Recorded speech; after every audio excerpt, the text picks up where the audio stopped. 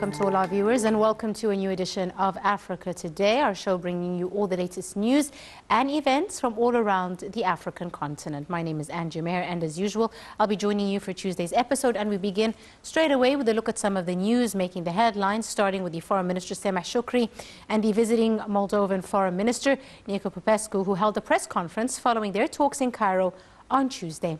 Speaking at the press conference, Shoukry said the talks discussed boosting trade and economic ties. He said three memorandums of understanding were also signed between Moldova and Egypt on Tuesday. For his part, the Moldovan foreign minister said his country was looking forward to signing more deals with Egypt, especially in the field of energy. He said both sides exchanged views on the repercussions of the Russia-Ukraine war and said they also discussed activating trade exchange and facilitating the entrance of citizens between the two countries. And for more news, the Algerian and French prime ministers hailed a new dynamic as they launched a joint economic forum during a visit to Algiers by the French Prime Minister Elisabeth Borne. More details in this report. France's Prime Minister Elisabeth Borne was in Algiers on Monday for the launch of a joint economic forum with Algeria's Prime Minister Aymin bin Abdurrahman. Speaking at the launch, they both hailed a new dynamic in their relations. Borne's two-day trip to Algeria, a major gas exporter, comes just weeks after President Emmanuel Macron concluded his own three-day visit in August, following months of tensions. In remarks during the forum's inauguration, bin Abdurrahman called for a sustainable dynamic in trade with France based on reciprocity and mutual interests. Borne called for a new dynamic of economic cooperation. Before returning to Paris, she also met with President Abdelmadjid Tebboune.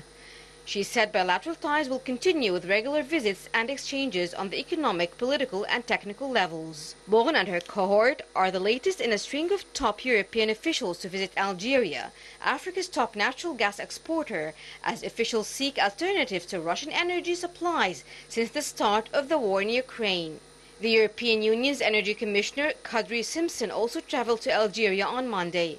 But ahead of her trip, Borne's office said deliveries of natural gas to France were not on the table.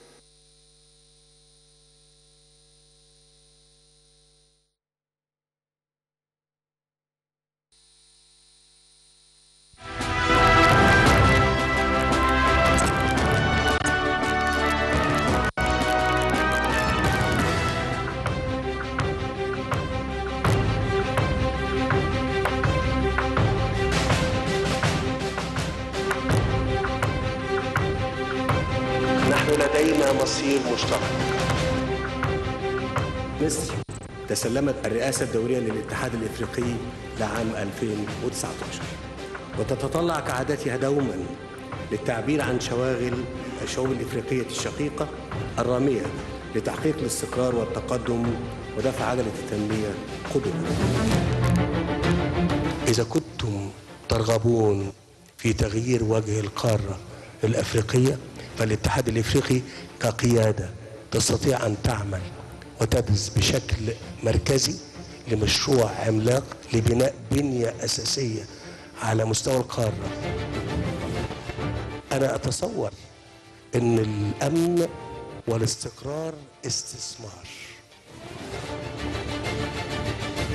إذا لم تستقر هذه القارة والأمن فيها بمعدلاته عالية. هذا الأمر سينعكس بالسلب علينا كلنا.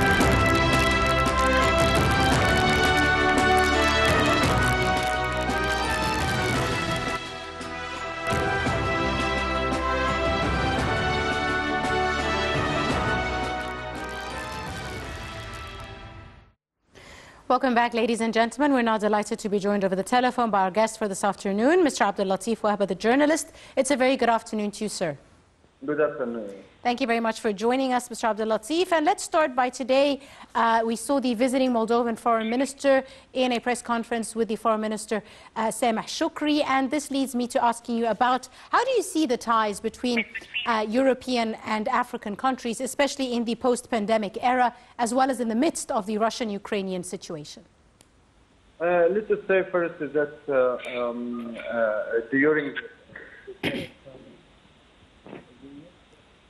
countries face uh, uh, a great attention to uh, the African countries, especially after uh, the conflict, uh, uh, the war erupted uh, Russia and Ukraine, and they are suffering from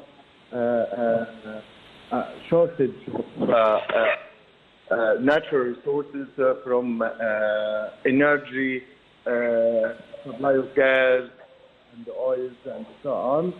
Um, although uh, the uh, European countries has uh, a historic relation with the African countries, African uh, uh, continent, uh, and so on. Uh, but I think um, uh, they capture uh, the time uh, just now uh, to strengthen uh, relations with the African countries. Uh, this, of course, uh, uh, is a mutual relations between the two parties, and um, they can secure their uh, their needs from uh, oil, and gas, and so from oil and gas, uh, and so on.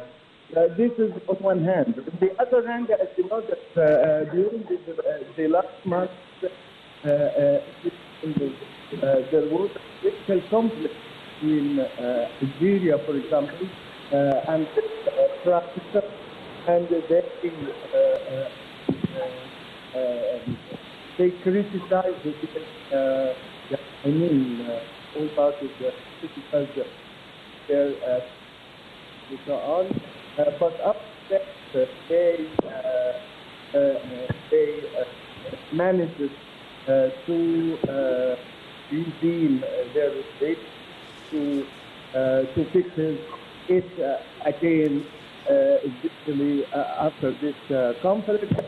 During that time, you know that, uh, I mean, in the current months of uh, uh, the last month, uh, the, the uh, France, for example, made attention for uh, uh, for uh, its relations with uh, some of uh, uh, like Algeria, يعني, um, and uh, at uh, uh, uh, Algeria, uh, the main producers of oil and and gas in African uh, uh, continent, and at the and with the, uh, uh, the European countries uh, are uh, um, interested just now uh, to extend another pipeline from uh, Nigeria to uh, Mauritania, uh, and Morocco to Spain. Uh, I think uh, um, the, current proof is that uh, the uh, have, has been uh, some sorry some attention to just now.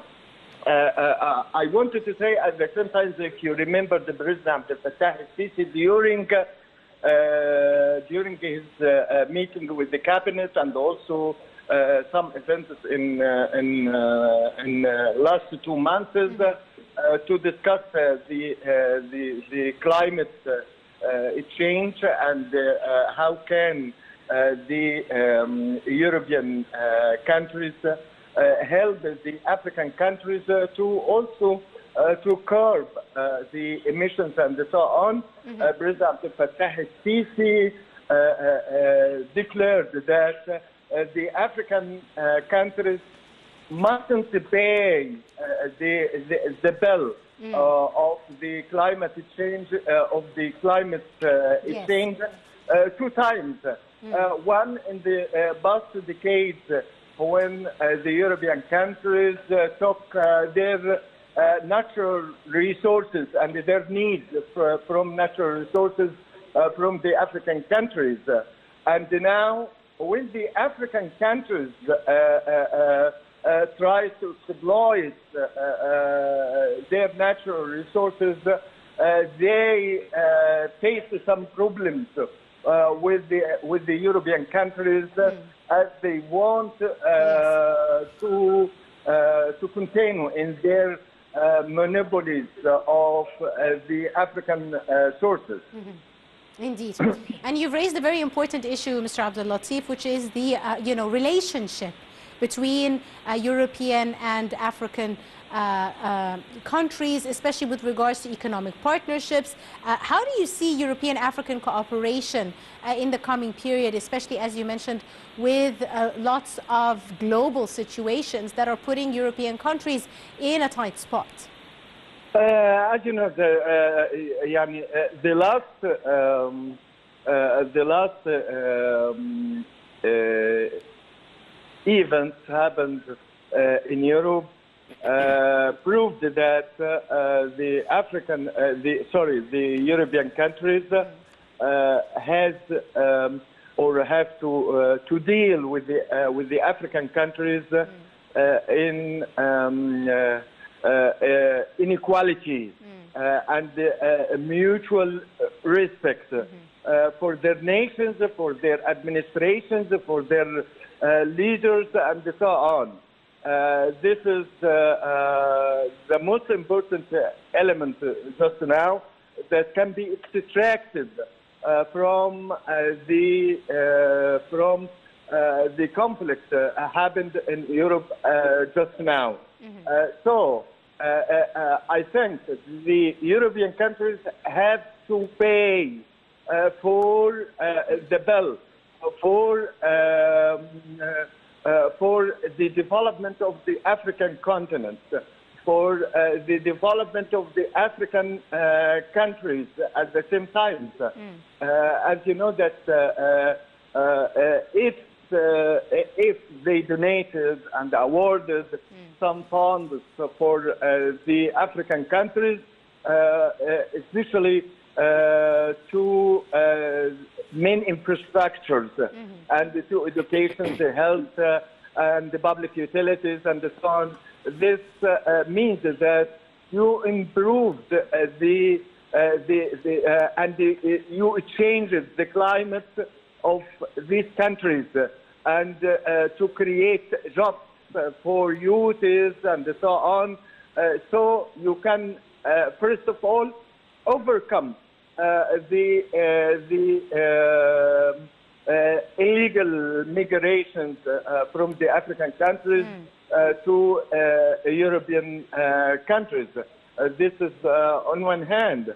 On the other hand, as you know, that uh, uh, Egypt, uh, through President Fattah al-Sisi, adopted, adopted a new policy for the integration of the African uh, continent, uh, mm-hmm. especially uh, in some uh, vital sources, uh, mm-hmm. in some vital uh, sectors, especially in transportation, in um, exchange of trade between the, the African countries. Mm-hmm. As you know, that although we are um, a huge part of the, of, of the world, Yes. I mean the African continent, uh, but uh, the exchange or or the uh, the intertrade uh, between uh, the African countries is It's so less. Yes.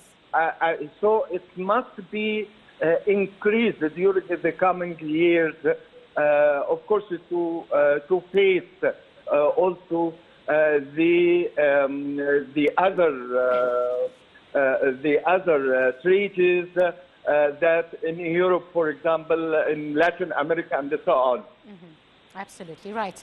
Uh, one final question, if I may, please, Mr. Abdul Latif. How do you see the private sector being a part of such a relationship between Europe uh, and Africa? Uh, yeah, uh, you mean the private sector? Yes. Ah, yeah.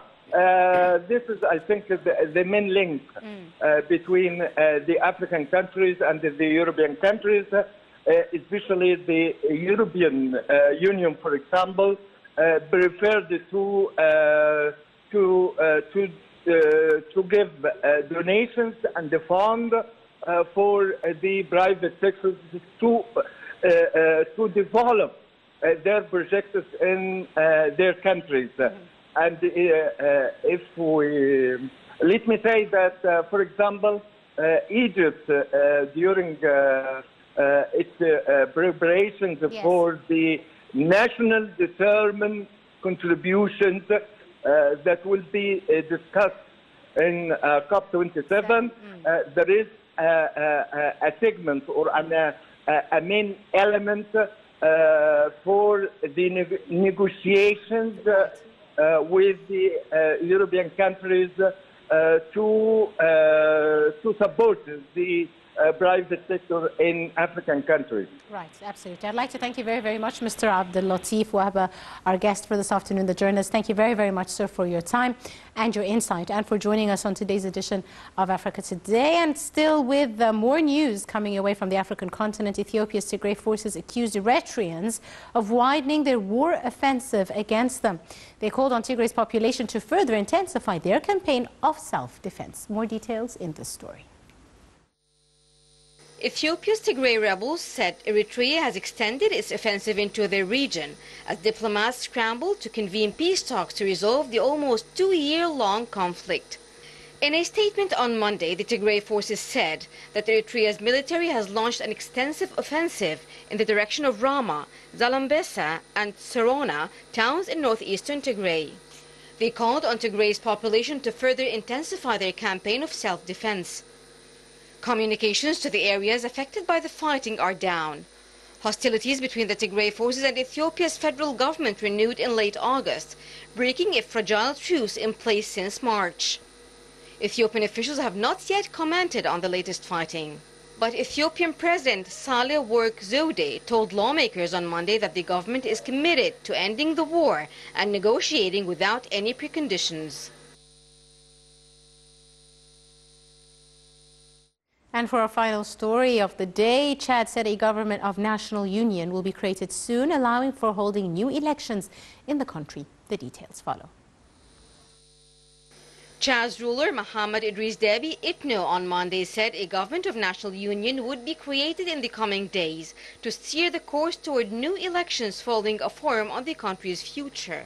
Deby said the government will put its heart and soul into ensuring that the will of the Chadian people is fully upheld. He was speaking at ceremonies where he was appointed transitional president after the forum which ended on Saturday. Chad, one of the world's poorest countries, has endured repeated uprisings and unrest since gaining independence from France in 1960. Deby, a 38-year-old five-star general, took the helm in April 2021 after his father Idris Deby Itno, who had ruled with an iron fist for three decades, was killed during an operation against rebels. Parliament was dissolved and the constitution suspended as Deby was proclaimed president. He headed a junta of 15 generals whose declared plan was to hand over power after 18 months, a period that without extension would have ended this month. Deby then organized a national inclusive dialogue that he said would chart the country's return to civilian rule. It wound up on Saturday after endorsing a further two-year period, leading to elections during which Deby would become transitional president and be allowed to stand as a candidate in the future polls. And with this final news item, we come to the end of today's edition of Africa Today. We're in the company of myself, Angie Meher. Many thanks for watching.